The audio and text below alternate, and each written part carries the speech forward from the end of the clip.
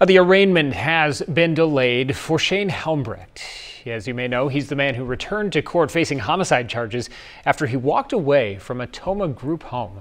Accused of killing his neighbor in 2016, Helmbrecht was originally scheduled to be arraigned today, but his defense attorney requested to adjourn the arraignment to March. Now, that's because his defense is appealing the court's decision that he's competent to stand trial. Upon learning of the appeal, Two letters of victim impact statements were filed in Eau Claire County Court, both asking for a speedy conclusion. Helmbrecht is now due back in court for that arraignment on March 3rd.